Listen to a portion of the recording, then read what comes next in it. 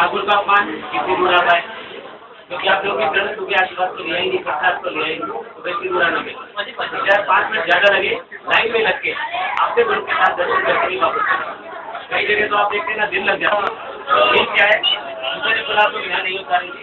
खाली दिन में सुना चुकाएँगे प्रणाम करेंगे आपने चलो प्रसाद के प्रति बैठे हुए हैं। स्लिप पे नाम लिखा पे नाम लिखा के का आपकी होती है आपके नाम